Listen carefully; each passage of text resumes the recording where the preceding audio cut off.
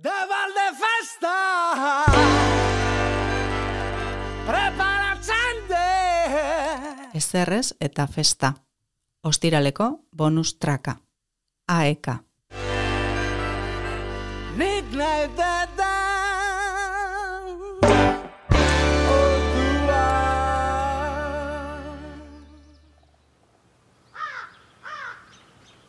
Erregina eta errege zaldi gainean. Takatan, takatan, erresumari buruz hizketan. Hene erregina maitea aizu ondo zaude? Ez dakit, isil eta aparte sumatzen zaitut. Zer nahi dezu ba, gogoratu, atzo abortatu nuen. Oraindik ola-ola nago. Jo, Sentitzen dut erregina, sentitzen dut ezin eman izana alaba bat. Ez dakit zer egin dezakedan hori lortzeko? Zuri alaba bat emateko? Edo zer egiko nuke, benetan, edo zer? Bueno, lasai, errege. Zuk ere alduzuna egiten duzu. Bai, baina igual ez da nahikoa, auskalo, hala ere jakizun ni pres nagola edo sorterako, bale? Baita nire burua zikiratzeko ere, ala behar balitz. Tira, orain darabidan burua ustea, ez da hori. Laster sartuko gara gudan, eta soldaduenia erena ordun dago. Oso aurreratuta ia denak. Ea nola ordezkatzen ditugun. Hain ausartak, hain adoratsuak denak. Egia, egia, behar bada mutiko batzuk egon daitezke horretarako prest. E, bai, bakit, ez dira asko izango, baina alaginduko gara, eta zure ema jakintzarekin arrastoren bat jaso dutenak ea topatzen ditugun.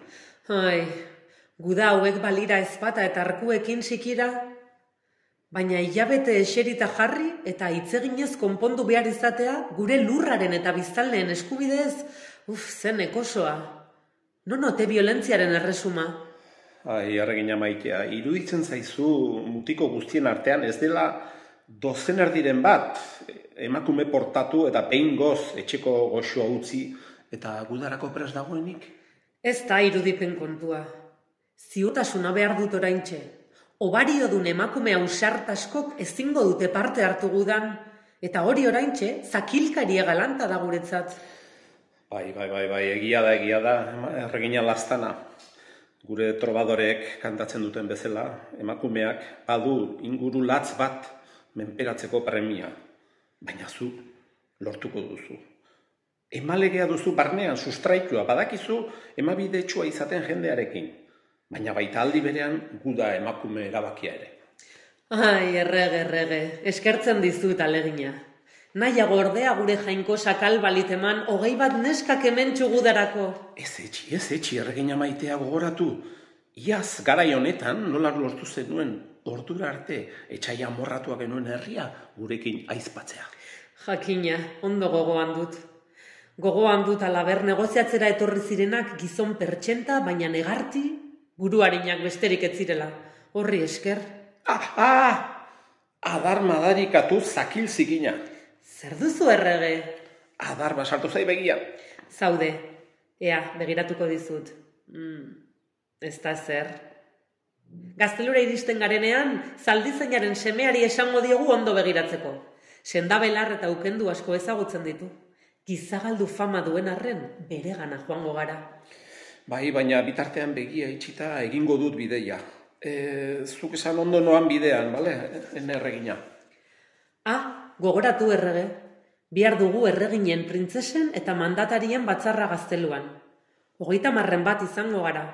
Ondoren goturuntzan ez dadila ezer falta, eta mesedez mutilen agintaritza garaia gogoan, zerbitzari mutilak izan daitezela, pospolin, panpos eta laineza sobratuan erraz moldatzen diren horietakoak.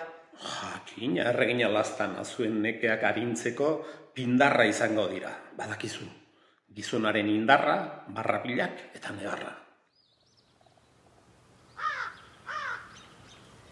Takatan, takatan, gaztelura bidean trostan. Erregin katolikoak protestanteen erresuman. Eguzkia lotarako bidean. Ilargia esnatzeko nagi. Har aize gozoa bazterrak laztantzen, akerrusain ukituarekin. Erregin maitea eta jakintxu, esadazu, zer dela eta gara erregin katoliko gure erresuma protestantea da eta. Ah, aspaldiko kontuak dira errege. Zu gaztea zara. Enaiz hasiko orain eta hemen ordukoak aletzen, baina egin kontu bi esaera zahar edo aiton itzauei. Semea baino alaba hobe. Eta seme bakarra etxean gerra.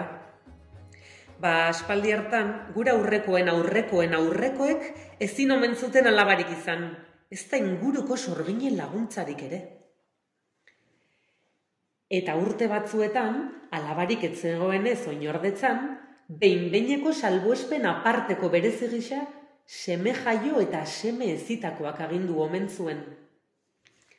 Guda hemen eta gudan hildakoak eta gosean non nahi. Seme agintari honek katolikotzat omen zuen bere burua. Izan ere, behin alaxe entzun omen ziolako gorrotu zion osaba patxineska bati. Gaur ez nez, ez nago oso katoliko, buruko minez nago. Orduan, erabaki omen zuen mutilak, hauzpada katolikoa, ni bai, ni izango naiz. Eta alaxe, harik eta herritarrak protestaka hasi eta berriz ere alabaren bat jartze din agintean, lortu zuten arte. Alaba bat, edo zein, baina neska.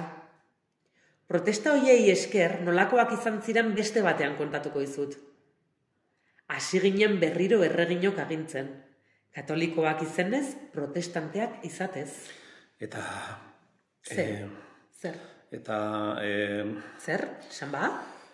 eta guk ezin badugu alabarik izan? Ez dago guztiz gure esku ere, jaio ondoren erabakia har dezake. Handitzen denean, hau, hura edo bestea izan.